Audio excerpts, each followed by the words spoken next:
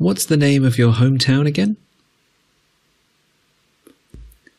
My hometown is a small town on the eastern outskirts of Beijing called Dachangzhen.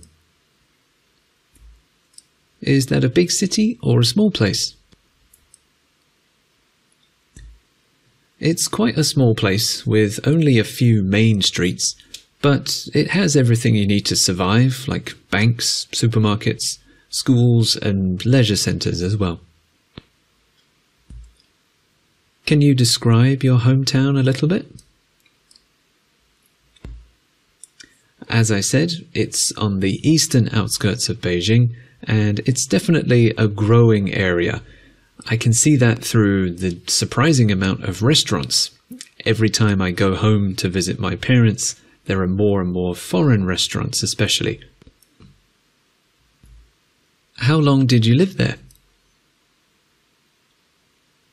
I lived there for about 25 years in total. I was born there and I also went to school and grew up there.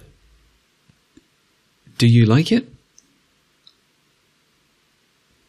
When I was younger, I remember liking the city, but that's probably because I had a lot of close friends there.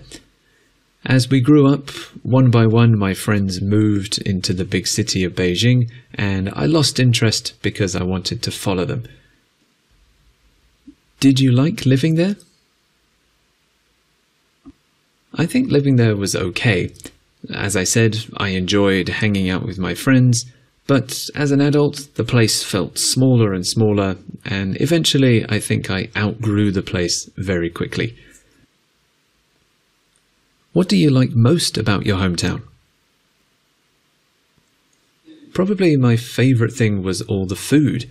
We're quite spoilt for choice, to be honest, because there are lots of local and foreign restaurants, so there's something for everyone. Is there anything you disliked about it? I didn't like the fact that it was isolated and very far away from the city centre. If I wanted to go to the cinema or a big shopping mall, I needed to take a long bus journey. As a young adult, the place felt very small, and there also aren't many parks or green spaces. Do you think you'll continue living there for a long time?